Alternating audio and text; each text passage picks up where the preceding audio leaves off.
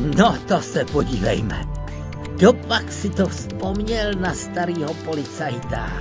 Hmm, adresát chybí. Tak na to, na to nebude bomba. Vemu svůj nový švýcarský nůž a kouknu se.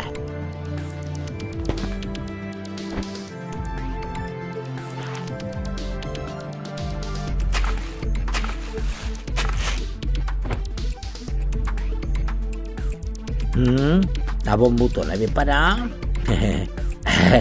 A já už se těšil na další dobrodružství. Dopis krásně voní. Určitě to nepsal chlap. Typoval bych hezkou brunetu s dlouhýma nohama. Vážený pane Pankráci, Obdivuji vaši práci a talent při odhalování nejtěžších zločinů moderní kriminalistiky. Umí krásně podlézat, co se musí nechat. Bude mi ctí se s vámi sejít a osobně probrat důvod mého zájmu o vás. Situace mi bohužel nedovoluje žádné pochybení a pokud souhlasíte se schůzkou, musíte splnit malý zkušební úkol. Aha, já už myslel, že mě zve na rande. No, nevadí. Jestli bude hezká, pozvu sám.